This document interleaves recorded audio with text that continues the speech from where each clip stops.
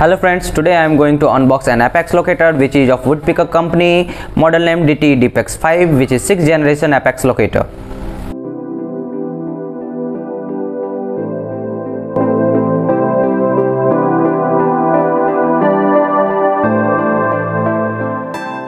Once the pulp in your tooth get infected, only two options left in your hand.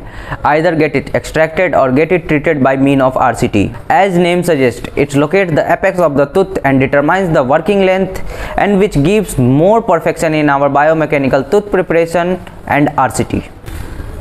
Earlier for determining the working length only radiograph was available but nowadays radiograph along with uh, apex locator is used. As the name suggests, it locates the apex of the tooth and determines the working length which gives more perfection in our root canal treatment and biomechanical tooth preparation. To provide better treatment to my patients, I purchased this device. Let's unbox it.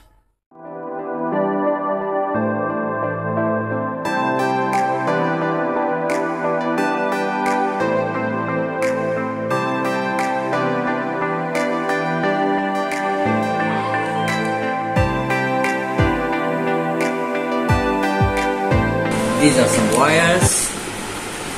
This is a clip known as chick clips. This is tester. And this is file hook. So now discuss how to connect it. First of all this cord will be plugged here.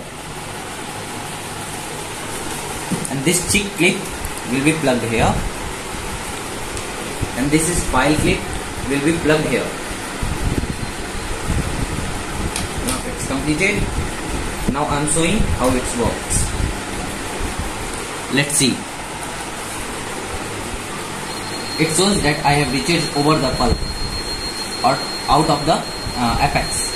And he, it is the sign that locates it is connected. And how to use this uh, tester? You have to unplug it and now you plug it. Here some marks are given. This indicates that your apex locator is working in good, good condition. I hope you like this video. For more such videos, do subscribe my channel. Thank you for watching this video.